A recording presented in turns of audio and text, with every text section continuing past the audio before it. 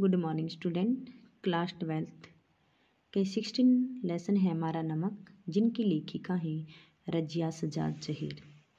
कल तक हमने किया था, यानी कि फोर्थ पैराग्राफ तक की व्याख्या हम कर चुके थे, अब हम आगे दिखते हैं। कल तक किया था, किस प्रकार से उसने बताया था कि उसे अपनी मासिक बीबी के लिए लाहौर से नमक लेकर आना था। लेकिन जब उसे अपनी माँ किस प्रकार से उसे लेकर जाना होता है? जब उसे अपनी माँ की कहानियाँ याद आती हैं कि साजादा था वह अपनी जंघा को चीर करके किस प्रकार हीरे को छिपा कर ले आया था।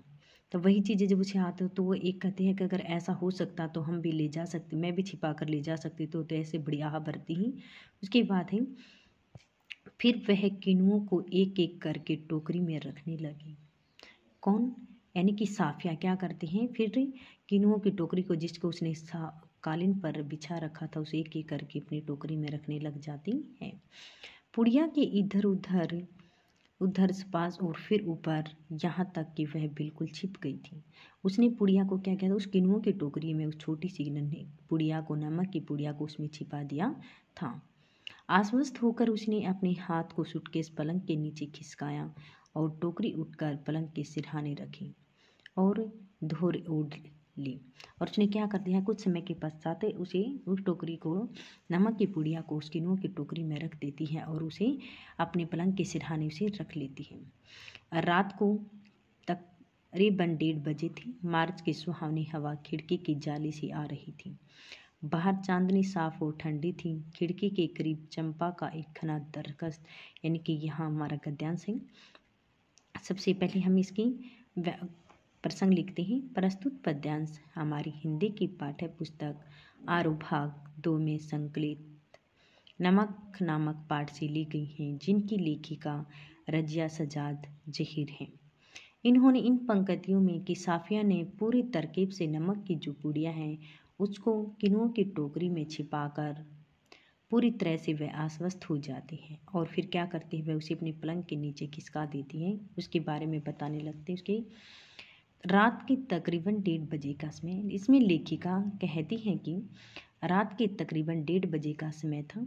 मार्च की सुहावनी हवा खिड़की की जाली से आ रही थी और मार्च का मौसम बहुत ही सुहावना होता है और उस मार्च के उस सुहावने मौसम से खिड़की से ठंडी ठंडी हवाएँ उसके वहाँ से आ रही थी।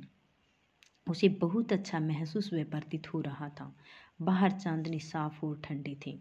और जब वह जाली से बाहर देखती है तो बाहर चांदनी और साफ़ व ठंडी दिखाई दे रही थी और खिड़की के पास एक चंपा का घना वृक्ष लगा हुआ था। और खिड़की के पास में ही एक चंपा नाम का घना, यानी कि पेड़ों से, पत्तों से खूब लदा भदा एक वृक्ष खड़ा था और वह उस खिड़की के पास से खड़ी होकर देख रही थी और जब वह सुहावनी हवाएँ ठंडी ठंडी चल रही तो उस समय उसके पत्ते हिलाते हुए इधर उधर डोलते हुए प्रतीत हो रहे हैं। सामने की दीवार पर पत्तियों के अक्के लहका रहा था और सामने दीवार पर क्या था? उस हरे भरे पेड़ों की जो, वृक्षों की जो पत्तियाँ थी, पत्ते थे, वो क्या कहते आपस में फड़फड़ा रही थी इधर उधर डोल रही थी। कभी किसी तरफ़ से, कभी किसी तभी हुई खांसी की आहट। वह कहते, कभी कैसी उसी आवाज़ सुनाई दे रही थी? कभी किसी की खांसी की आवाज़ सुनाई दे रही थी। किसको? साफिया को। क्योंकि उसे नींद नहीं आती, उसे हमेशा ये हो रहा था कि मुझे, अब ये बताना है कि मुझे किस प्रकार से नमक की पुड़िया को अपनी साख सीख बीबी के लिए लेकर जाना है, वह इस चिंता में उसे नींद नहीं आ रही थी। दूर से किसी कुत्ते के भोंकने या रोने की आवाज़, चौकीदार की सीटी और फिर सन्नाटा। दूर से क्या होता? कभी उसे कुत्ते के भूखने की आवाज़ सुनाई रही थी, कभी चौकीदार बार बार सीटी बजा रहा था, उसकी आवाज़ उसे सुनाई पड़ रही थी और कभी किसी कुत्ते की भूखने की आवाज़ सुनाई दे रही थी। कभी कभी रात में पहरा देते पड़ रही थी सन्नाट, और फिर सन्नाटा, और फिर क्या होता था उसे? पूरे के पूरे वातावरण के अंदर उसे सन्नाटा छाया हुआ प्रतीत हो जाता था। वह कहते कि ये पाकिस्तान था, क्योंकि कहाँ आई हुई थी वह? अपने भाइयों के पास लाहौर में आई हुई थी, और वहाँ उसे किसके पास जाना था? अब उसे भारत अपनी सिख बीबी के लिए ले, नमक लेकर जाना था, क्योंकि वह वहाँ पर अपने पंद्रह दिन के लिए अपने भाइयों के पास रुक कर आई थी। तो लेखिका कहती है कि यह पाकिस्तान देश का जो वातावरण होता है, कभी किसी तरह की आवाज़ आने लगती, कभी किसी तरह की आवाज़ आने लगती, तरह तरह की जो आवाज़ें होती हैं, वह उसे सिख बीबी साफिया को सुनाई दे रही थी। यहाँ उसके तीन सगे भाई थे। बेशुमार चाहने वाले दोस्त भी थे। कहाँ पे? पाकिस्तान में। किसके सिख भी साफिया के? बाप की कबर थी, यानी कि उसके पिता की मृत्यु भी वहीं पर हो गई थी और वो मुसलमान थे, इसलिए मुसलमान क्या करते हैं, कबर के अंदर ही उनको दफना दिया जाता है, उनको जलाया नहीं जाता है। नन्हे नन्हे भतीजे और भतीजा थी और साफिया की छोटी छोटी भतीजे और भतीजा भी कहाँ थी, पाकिस्तान में ही थी। यानी कि खुशहाली से उसका जीवन पंद्रह दिन व्यतीत हो चुके थे, लेकिन जाते समय जब वह नमक की पुड़िया नहीं ली जा रही थी, उस समय वह चिंता में डूबी हुई थी। जो उससे बड़ी मासूमियता से पूछते, फूफी जान, आप हिंदुस्तान क्यों रहती हो? यानी कि वे छोटे छोटे नन्हे बच्चे बार बार अपनी बुआ से पूछती थी कि आप बुआ जी, हिंदुस्तान में क्यों रहते आप हमेशा हमारे साथ यहाँ लाहौर या पाकिस्तान में क्यों नहीं रहती हो? जहाँ हम लोग नहीं आ सकते उन सब के और साफिया के बीच में एक सरहद थी और वह बहुत नोकदार लोहे की छड़ों की जंगलों की कस्टम कहलाता था। यानी कि जब भारत और पाकिस्तान का आपस में विभाजन हुआ था, उस समय ये ऐसा हुआ था जब भी अलग अलग कि जो पाकिस्तान के जो लोग भारत में थे, वो भारत में ही रह गए और भारत के जो लोग पाकिस्तान में थे, वो वहीं पर रह गए हैं। तो इसके बाद में आपने इसका विशेष लिखना है किन पंक्तियों में उसमें पाकिस्तान में जब वह अपने भाइयों से मिलने के लिए गई हुई थी साफिया तो उस समय वहाँ के वातावरण के दृश्य के बारे में बता रही हैं। उसके प्राकृतिक सौंदर्य के बारे में बता रही हैं। प्राकृतिक बिम है उर्दू फारसी आदि शब्दों का भी प्रयोग किया गया है। इसके बाद में इसकी कल वह लाहौर से चली जाएगी। हो सकता है साल भर फिर आए। कौन चली जाएगी? यानी कि पहले उसकी इस गद्यांश के क्वेश्चन आंसर करते हैं। उपयुक्त गद्यांश की लेखिका कौन थी? रजिया सजाद जहीर। पाठ का नाम क्या था इसमें? नमक। साफिया पाकिस्तान क्या देने गई थी? साफिया पाकिस्तान अपने भाइयों से मिलने के लिए गई थी और वहाँ से उसे अपनी सिख बीवी के लिए थोड़ा सा नमक लेकर आना था। रात्रि का वातावरण कैसा था? रात्रि का वातावरण सन्नाटा रात्रि के वातावरण में उसे तरह तरह की दबी हुई सी किसी की आवाज़ सुनाई दे रही थी, किसी की खांसी की हाट सुनाई देती कभी कुत्ते की भोंकने की आवाज़ सुनाई देती थी और कभी चौकीदार की सीटियों की आवाज़ उसे सुनाई पड़ती थी। यानी कि पूरे के पूरे वातावरण के अंदर क्या हुआ था? सन्नाटा छाया हुआ दिखाई दे रहा था। रात्रि के डेढ़ बजे तक की भी साफिया क्यों नहीं सो पाई थी? क्योंकि रात्रि के डेढ़ बजे तक साफिया इसलिए नहीं सो पाई थी क्योंकि उसे बार बार ये चिंता लगी हुई थी कि उसे अपनी सिख बीवी के लिए नमक लेकर जाना और वह किस तरह से लेकर जाए। तो उस समय वह क्या कर रही थी? किनुओं को जो उसने कालीन पर बिछा रखे थे, उसे टोकरी में डालकर बार बार एक एक करके वह उसमें रख रही थी और वह उसमें नमक की पुड़िया को छिपा रही थी। वह सोच रही थी कि जिस समय मैं आई थी, उस समय क्या हुआ था? नमक की पुड़िया को कोई भी, यानी कि फलों को आते जाते कोई भी चेक नहीं कर रहा था, कोई लोग नहीं देख रहा था, इसलिए मैं इसमें छुपा कर ले जा सकती हूँ। कल वह लाहौर से चली जाएगी। हो सकता है साल एक साल पहले तो कभी आ नहीं सकती और यह भी हो सकता है कि कभी न आ सके। उसकी आँखें आहिस्ता आहिस्ता यानी कि धीरे धीरे क्या उन्हें बंद होने लगती ऐसे सोचते सोचते वह सो जाती हैं। फिर उसे एक सफ़ेद दुपट्टे का दूधिया आंचल लहराता हुआ दिखाई देने लगता है। यानी कि जब वह सो जाती हैं तो उस समय क्या होता है इसे जो सफ़ेद दुपट्टा उसे दिखाई देता है तो उसे याद आता है तो कि उसकी माँ मुरहम के समय में तो उठा करती थी। जिस पर यहाँ वहाँ सितारे झिलमिला रही थी, यानी कि उस सफ़ेद दुपट्टे पर क्या थे? सफ़ेद सितारे झिलमिला रही थी। हमें वहाँ आए तो बहुत दिन हो गई थी। यहाँ हमारी कोठी भी है, बिज़नेस भी है, यहाँ बस भी गई हैं। पर हमारा वतन तो जी लाहौर ही है। ये बात कौन कहती है? सिख बीबी कहती हैं। किससे? साफिया से कहती हैं कि देखो, हम यहाँ काफ़ी साल हो चुके हैं। अब यहाँ पर हमारा व्यापार, घर, परिवार, बार सब कुछ हो चुका है, लेकिन आज भी वह अपने लाहौर को अपना क्या मानती है? अपना वतन मानती है। फिर दिखा दिखा इकबाल का मकबरा, लाहौर का किला किले के पीछे डूबते हुए सूरज की नारंगी किरणें। आसपास से फैलता उभरता अंधेरा। उस रंगीन अंधेरे में बहती हुई नरम हवाएँ, उस हवा में रची हुई मोलसरी की खुशबू और मकबरे की सीढ़ियों पर बैठे हुए दो इंसान। सिर झुकाए चुपचाप उदास, जैसे जो दो बेजान परछाइयाँ हूँ। तो तुम कल चली जाओगी? यानी कि वे उसे पूछते हैं, किससे? साफिया से बार बार पूछ रहे हैं, कल तुम यहाँ से चली जाओगी? तो कुछ कल चली जाओगी। हाँ अब कब आओगी? यानी कि फिर वे उससे पूछते हैं, आज जाने के बाद फिर आप कब वापस आओगे? किससे? साफिया से बार बार पूछ रही हैं। मालूम नहीं।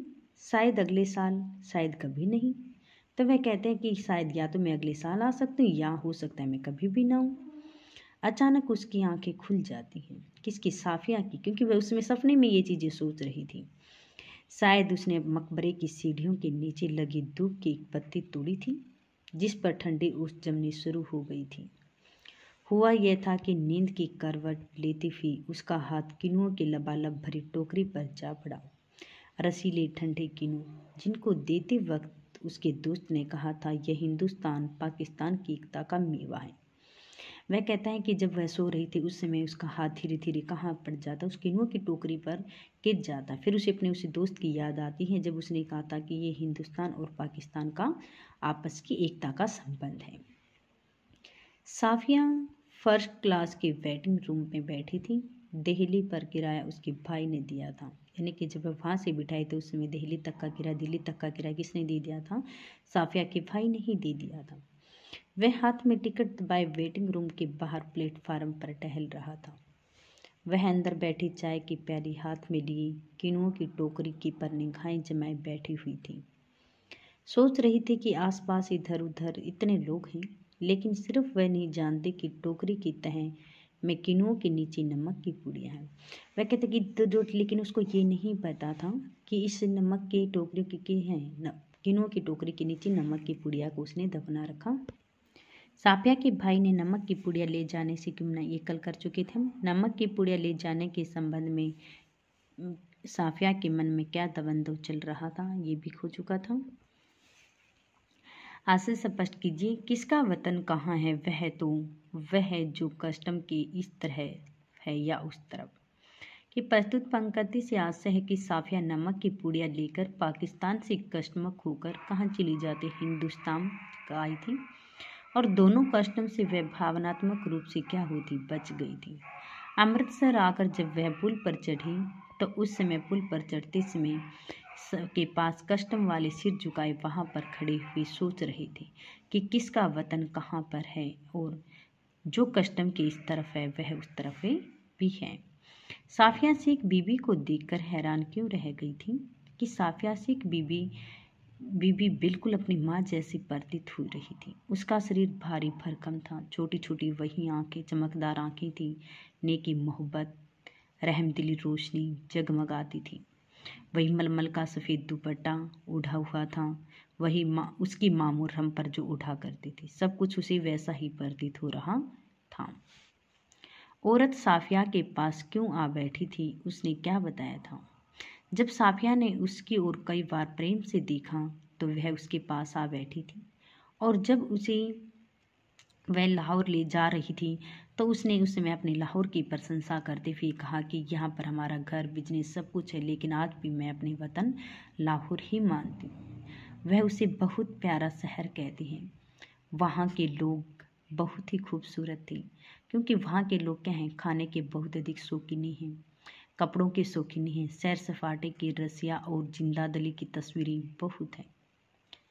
तो वह वहाँ सिख बीबी के बारे में वो सारी चीज़ें बता दें। सिख बीबी क्या हिंदुस्तान में बसने के बाद प्रसन्न थी और कैसे? सिख बीबी जब हिंदुस्तान में आई थी, जब भारत और पाकिस्तान का आपस में विभाजन हुआ था तो उसे उस समय क्या हुआ था? लाहौर को छोड़ना पड़ा था। और उस समय वह लाहौर को छोड़कर वहाँ कहाँ पर? यानी कि अब यहाँ पर उसका बिज़नेस हो गया है व्यापार हो गया है, क्योंकि वहाँ पर कोठी भी है उसकी, वह खुश है वह।